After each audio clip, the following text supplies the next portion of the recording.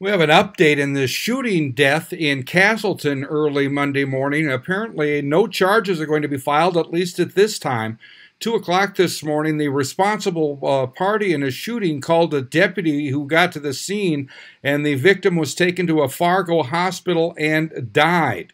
Uh, this now went from the uh, Sheriff uh, Timothy Briggeman, who says they finished their investigation at the scene of the shooting in Casselton. Upon review of the evidence, video evidence, witness statements, and conferring with the Cass County State's Attorney's Office, the person involved in the shooting has been released from custody at this time, pending further investigation. Through the investigation, there is no reason to believe there's any safety risk to the public. Uh, the Cass County Sheriff's Office will be holding a press conference on Tuesday at 2 p.m. in the Cass County Law Enforcement Center, where additional information will be provided. The names of those involved are not being released at this time. I'm Neil Carlson reporting for iNewZ.TV.